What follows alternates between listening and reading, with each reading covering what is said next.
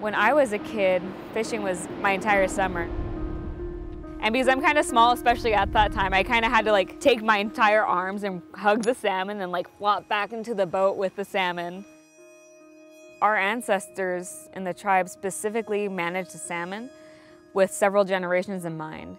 These great great grandparents I never met, they were taking care of the salmon so I would have a good life and something to eat.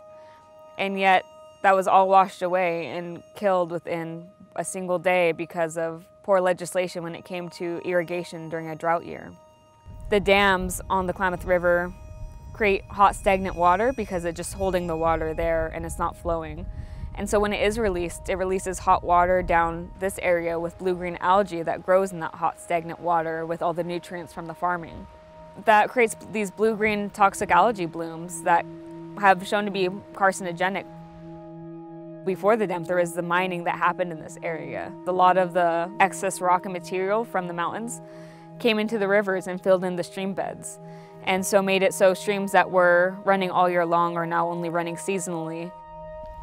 Currently, I'm working as a restoration engineer one for the Yurok tribe, reforming the streams and working to prepare that salmon have good spawning grounds by doing restoration work, by adding logs back into the streams, by adding large rocks and turbulence so they have a place that will help their young survive.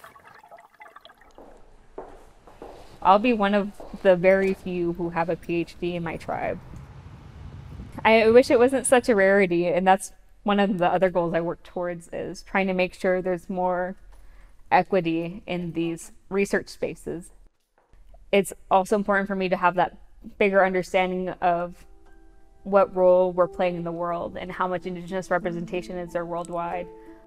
That led to me trying to get into the United Nations COP or Climate Change Conference.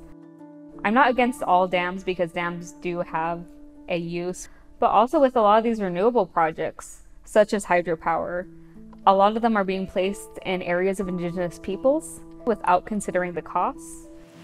Today, we are making possible the most significant dam removal and river restoration project in our nation's history.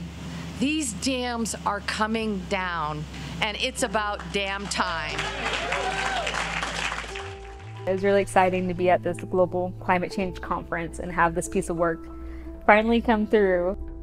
And we definitely celebrated when that happened.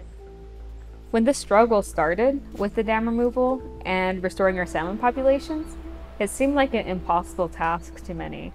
Even if I do work that may seem impossible in the moment, if there's even a chance for these solutions around climate change and tribal sovereignty, indigenous sovereignty, and water rights, then I'm gonna keep working for it.